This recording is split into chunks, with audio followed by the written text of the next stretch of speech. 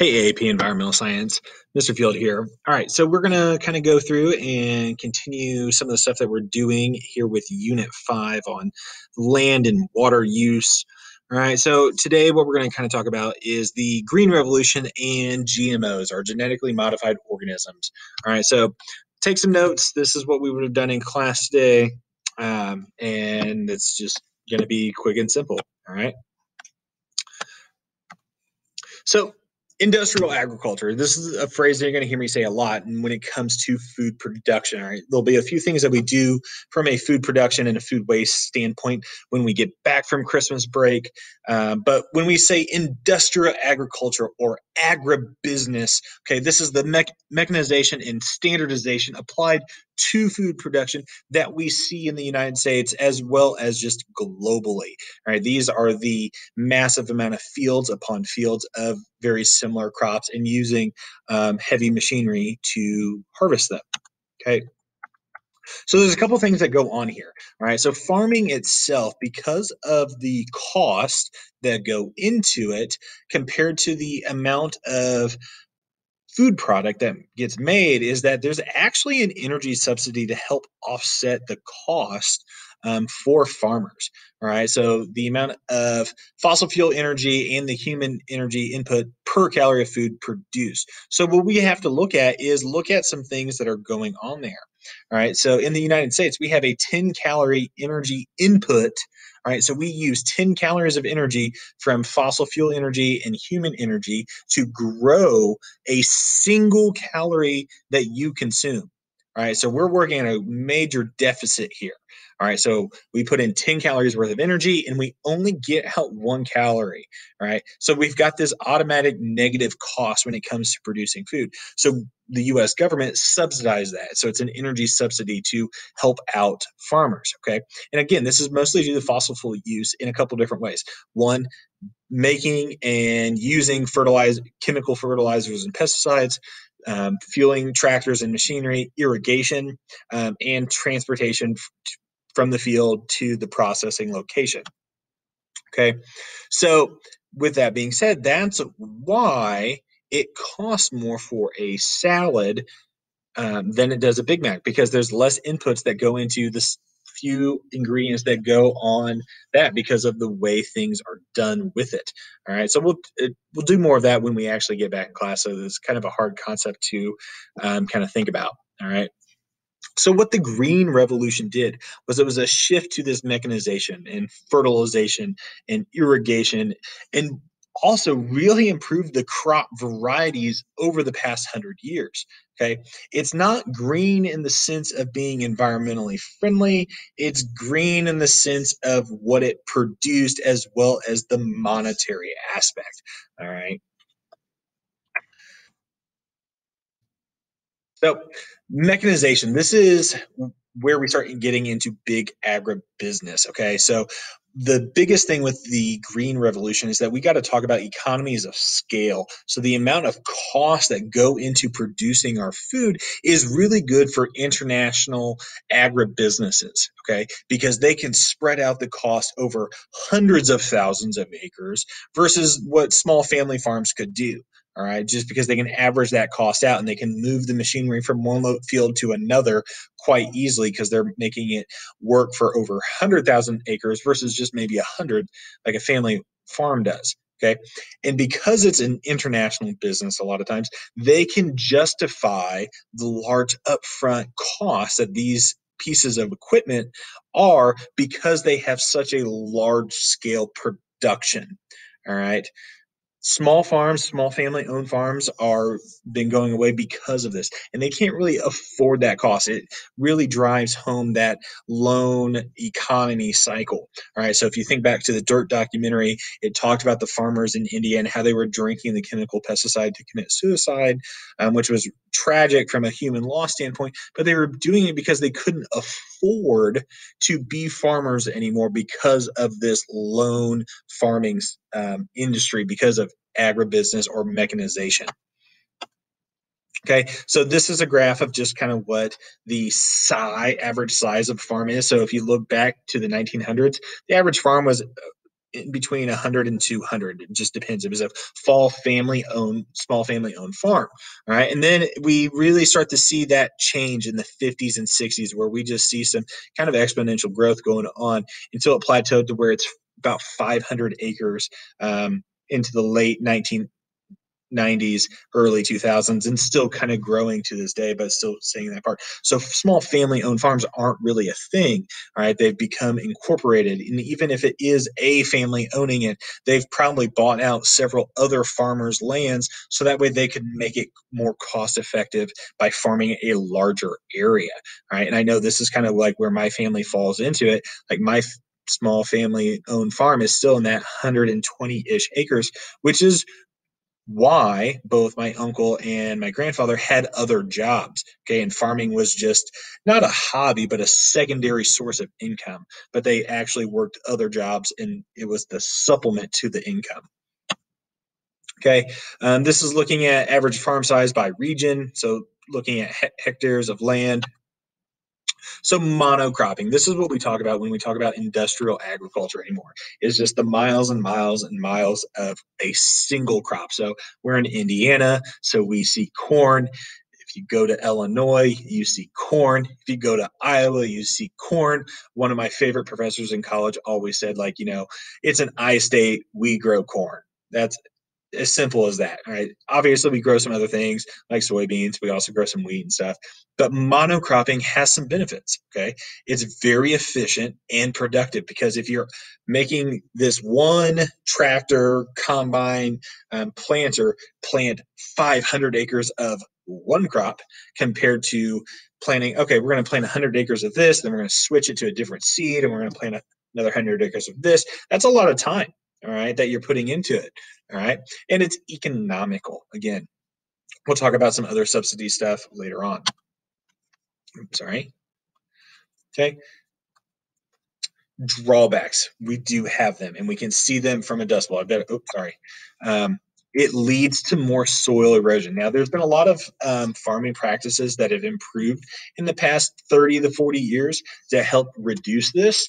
But when it first started happening with the Green Revolution, we had that historical event called the Dust Bowl, all right, where because we had hundreds of acres and really it's thousands of acres of single crop fields, um, we left so many acres of soil barren and just available to be eroded by both wind and water.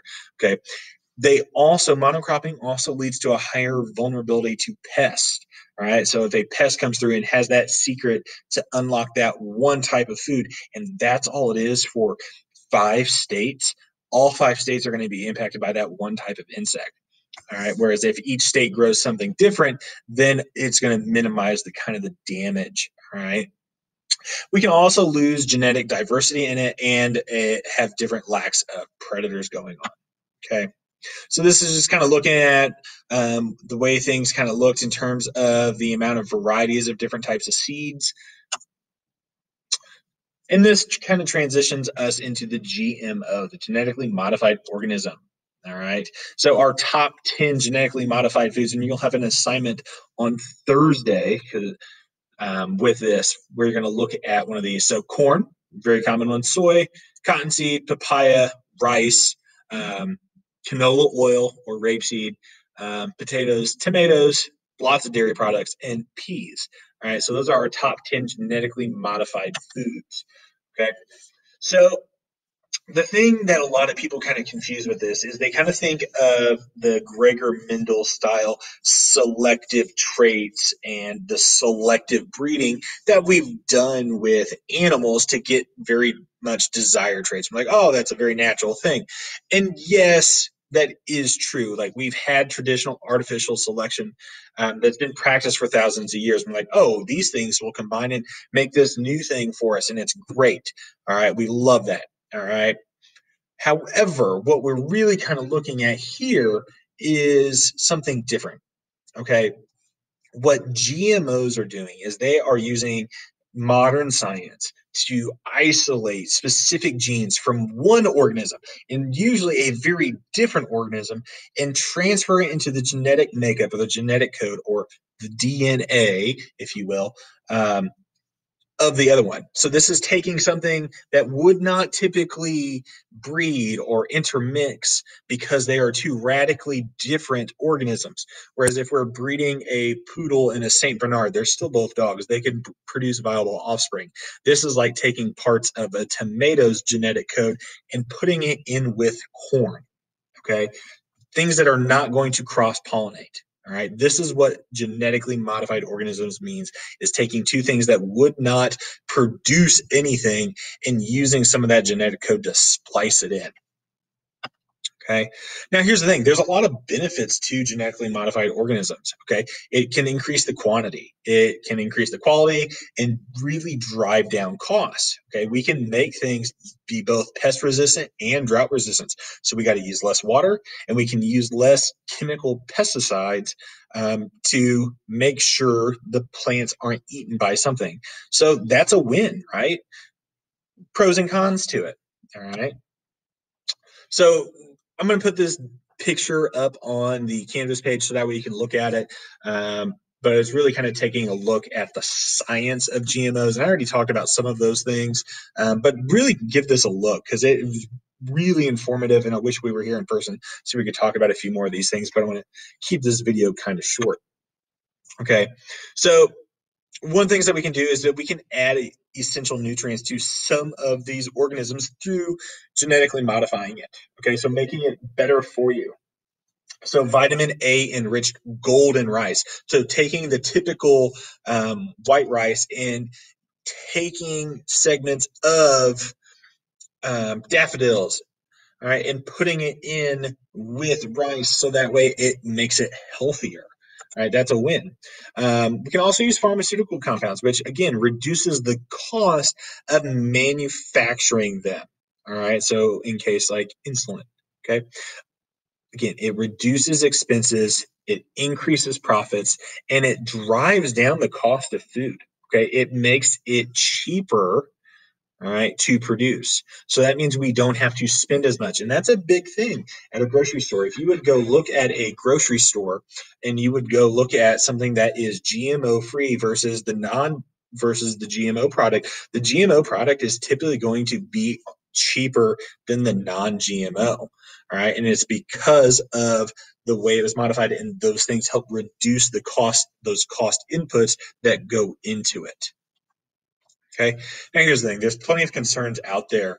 Um, a lot of people are very anti GMO. They just make it sound, are very negative with it um, for a lot of reasons. Some of it um, is just hysteria and kind of going with the crowd and thinking, oh, and ha- taking that kind of religious component to it, like, oh, if it wasn't meant to be this way, it can't be healthy. All right. So here's the thing, though: GMOs are pretty safe. In fact, most of the food products that you eat, unless you're specifically buying something that says it's GMO free, chances are it was made with GMO products. All right. Um, and there's very little evidence to show that it isn't healthy for humans to take them. About the only label um, that kind of has kind of uptick with the amount of GMOs that we have in our grocery stores is that we have seen more cases of people with food allergies. Now, we haven't really kind of made that link yet. Um, but it does look like maybe because we have so many GMO products um, we're starting to have more food allergies, or it could just be that we're getting better at diagnosing food allergies too. So there's still kind of that debate, but that seems to be like the one trend um, that they're not safe or unhealthy for human consumption. Okay. The big thing is that we do have impacts on biodiversity and the genetic diversity. So that three pools of diversity that we can have, we're looking at that genetic diversity pool at this point. All right. So that's going way back to unit two. Um, so the thing that we can have is that we can have that cross pollination where we can have a GMO um, breeding or with a non-GMO variety of the same thing, um, which can again help minimize the amount of genetic diversity that's out there, but at the same time also potentially pump it up because we could get a new hybrid out of it. Um, but again, some people are concerned that we're going to eliminate natural varieties and we need to create buffer zones between GMO fields and non GMO fields just so that way they don't um, cross pollinate. Um, and there's some people that go out and they try to, the seed bank tries to store um, natural varieties of stuff. They don't do stuff with GMOs because they want to preserve the integrity of the non GMO species. One thing about GMOs is that companies can patent them. Okay, since the 1980s, um, we had this Diamond verse, I can't say it, um, U.S. Supreme Court case um, that basically made it said that we could companies could patent their GMO patents. Um, so their GMO process, they can own the patent to it, and nobody can reproduce it in that specific concept. All right. So again, a couple of um, Supreme Court cases going on with that. Um, Bowman versus Monsanto. And again, it's a really big company. It controls, it's 10 of the biggest companies control about 73% of the seeds that farmers use. All right. Looking at a couple of different herbicides that get used. And again, just kind of dropping through and looking at a couple of the major um, industrial markets that and what they control when it comes to pesticide and seed sales. So we see this comparable where they're kind of doing both, where pesticides is blue and the seeds are red. So when you drive around and you see what type of um, seed that they use, we can also usually infer then that they're going to use a pesticide that goes with that seed variety. Okay. Here's the thing. There's a not a lot of regulations when it comes to making sure here in the United States the things that are GMOs are mandated to label that it's a GMO product. Um, that's here in the United States. In Europe, it's a different story. Um, the European Union actually bans a lot of GMOs. In fact, if you go and look at a grocery store in Europe, so Germany, France, and products that are very similar are different because they are not allowed to use certain ingredients that we use here in the United States. Um, the biggest one that I know of um, is that Mountain Dew is banned in Europe, in the European Union, because of some of the chemicals that are used um, in it. Um, whereas in the United States, it's one of the most popular drinks. Um, organic food, the thing with organic food is that it's just that it's organic. This means it already is a non-GMO variety. So if you eat an organic-based diet, you're not taking in any GMOs. All right. Um, but again, labeling can really confuse those that are uninformed. Um, when they see that it comes with this sticker that's saying, "Hey, this is a GMO product," it kind of confuses people and say, like, "Okay, well, is there something wrong with a GMO? Is that why it has to be labeled that it's GMO? Um, if it says it's GMO free, well, okay, why is it GMO free? Is GMOs bad? Again, it kind of puts this negative stigma in there. But a lot of times, our GMOs are just really doing a couple things. Again, driving the cost down, making it more pest and drought resistant, a lot of times making it more colorful and even sweeter. Because one thing um, in the United States is that we want stuff to be sweeter than what it naturally would occur. All right, so GMOs, they're not really that bad, but the way things get labeled with it really kind of helps muddle the water on it. All right.